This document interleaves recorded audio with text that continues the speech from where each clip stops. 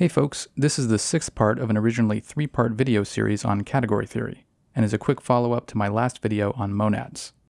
In that video, I introduced monads and showcased some of their applications in computer programming. In this video, we're going to approach monads from a totally different angle, which will give us additional insight. To get started, we first need to talk about monoids. A monoid is a set with a binary operation that's associative and unital.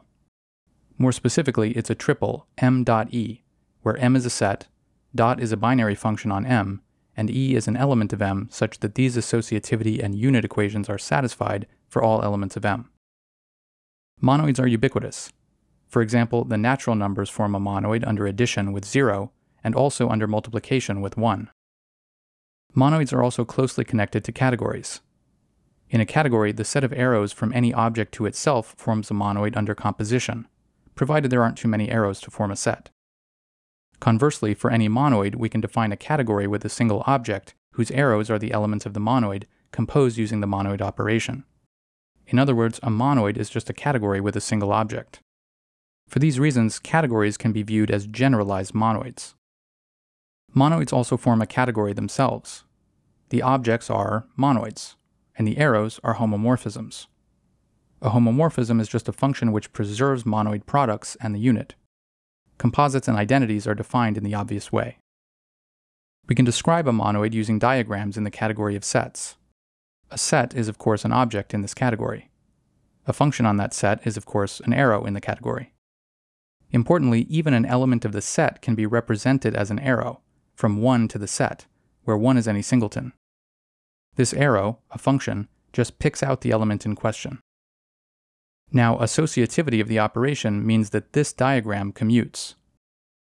The arrow on top here is defined like this, and it's actually a natural isomorphism. You should pause the video and confirm that this commutative diagram is equivalent to the associativity equation in the definition of a monoid. Translating between equations and diagrams is a very useful skill to develop when doing category theory. Similarly, unity means that this diagram commutes. The natural isomorphisms on top just pair an element of M with the element in the singleton. Again, you should confirm this equation is equivalent to the unit equation for a monoid. Now, it might seem like we're just making simple things complicated with these diagrams, but they're actually useful. Using these diagrams, we can transport the concept of a monoid from the category of sets to any category with analogs of the Cartesian product and a singleton. Along these lines, let C be a category. Suppose there's a functorial binary operation on C, which is associative and unital for an object i, as seen here. The operation being functorial means that it applies to arrows as well as objects, and associativity and unity hold for arrows as well. Then C is called a strict monoidal category. It's strict because we have equalities here rather than natural isomorphisms as we had in the category of sets. The operation is called the monoidal product. The object i is called the monoidal unit. Now, a monoid object in C is an object M together with two arrows for which associativity and unit diagrams commute. Mu is called the monoid multiplication, and eta is called the monoid unit. This is the associativity diagram.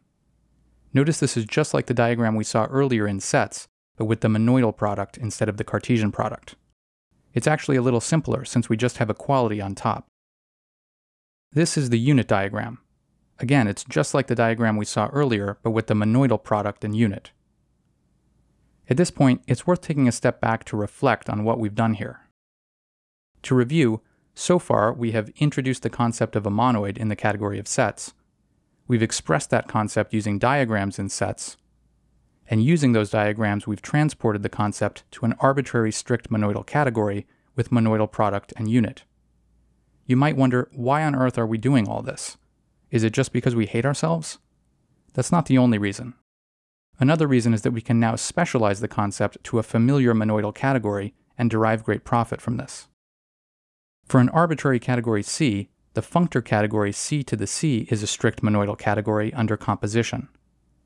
Recall this category has for objects functors on C, and for arrows natural transformations between those functors. The objects are called endofunctors.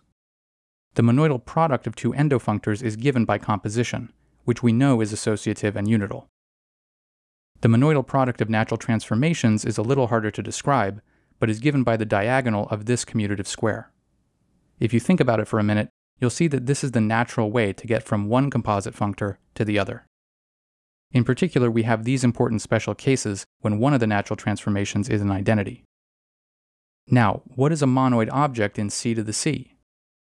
It's an endofunctor T with two natural transformations mu and nu.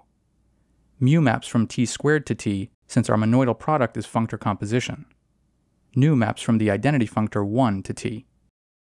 The natural transformations make these associativity and unit diagrams commute. This should all look very familiar to you from the last video. That's because it's just a monad. This means that a monad on a category C is a monoid object in the monoidal category of endofunctors of C under composition. You can start with this as the definition of a monad if you really want to confuse someone, but I don't recommend it. The cool thing here is that a monad, which at first sight might have looked a little strange, is just an instance of one of the most familiar types of objects in mathematics, a monoid.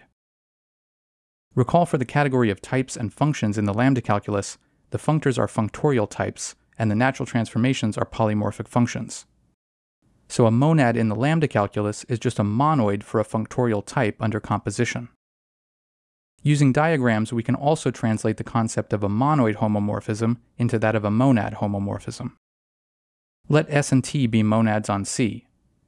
Then a monad homomorphism from S to T is a natural transformation making these diagrams commute. These diagrams are just the result of translating diagrams from monoid homomorphisms. The diagram on the left says that H preserves monad products, while the diagram on the right says that H preserves the monad unit. Let's look at an example. Recall from the last video that in the lambda calculus, we can model non-deterministic computation using the list monad consisting of the list type together with return and concat functions.